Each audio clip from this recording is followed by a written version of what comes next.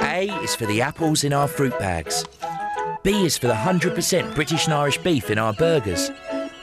And C is for the used cooking oil we recycle into biodiesel for our trucks. That's what makes McDonald's.